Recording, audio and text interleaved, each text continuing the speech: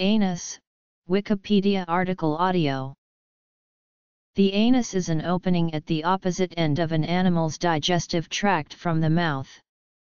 Its function is to control the expulsion of feces, unwanted semi-solid matter produced during digestion, which, depending on the type of animal, may include matter which the animal cannot digest, such as bones, food material after all the nutrients have been extracted, for example cellulose or lignin, ingested matter which would be toxic if it remained in the digestive tract, and dead or excess gut bacteria and other endosymbionts. Development Amphibians, reptiles, and birds use the same orifice for excreting liquid and solid wastes, for copulation and egg laying. Monotreme mammals also have a cloaca, which is thought to be a feature inherited from the earliest amniotes via the therapsids. Marsupials have a single orifice for excreting both solids and liquids and, in females, a separate vagina for reproduction.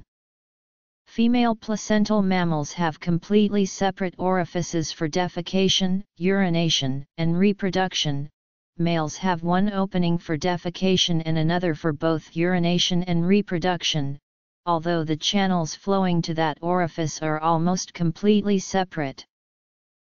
The development of the anus was an important stage in the evolution of multicellular animals.